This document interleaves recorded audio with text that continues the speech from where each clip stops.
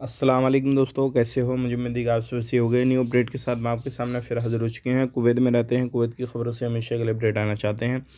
Video को देखते रहिए। काफ़ी ज़्यादा इंपॉर्टेंट जानकारी मैं आपको देने वाला हूँ और हर जगह पे पकड़ धकड़ की खबरें आ रही हैं निकल के। और आपके लिए काफ़ी ज़्यादा इंपॉर्टेंट है, जो कि बहुत सारे लोगों को पकड़ा गया है। तो चलिए फिर बिना देरी के वीडियो शुरू करते हैं। चैनल को पहली बार देखने चैनल को ज़रूर सब्सक्राइब कर लें और साथ ही साथ बेल आइकन ज़रूर प्रेस कर दें ताकि हमेशा आपको इसी तरीके से जानकारी कुवैत के बारे में टाइम टाइम मिलती रहे और आप हमेशा हमारे साथ में जुड़े हैं सबसे पहले हम बात कर लेते हैं भाई जो बड़ी खबर आ रही है निकल के, जैसे कि आपको मालूम है कुछ एरिया ऐसे हैं जो क्या सिटी से दूर हैं।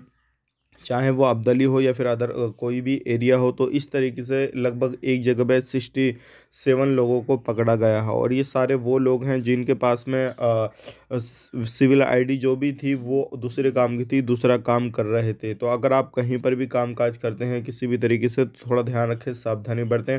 और अभी एक जगह पे पाँच लोगों को पकड़ा गया है, जो क्या इलीगल तरीके से ऑफ़िस वगैरह चला रहे थे। ऑफ़िस मतलब यही था डोमेस्टिक लेबर ऑफ़िस चला रहे थे, ना ही लाइसेंस था ना ही किसी तरीके का कोई प्रूफ और ऑफ़िस वगैरह ओपन कर रखा था। तो ध्यान रखें, इस तरीके से कहीं पर भी कुछ भी होता है तो आपको कहीं से काम कराना या कुछ भी करना है तो इन चीज़ों का ध्यान रखें। आप बात कर लेते हैं भाई अगली खबर की तरफ़, जो अगली खबर आ रही है निकल के आ रही है मसाज पार्लर को लेकर।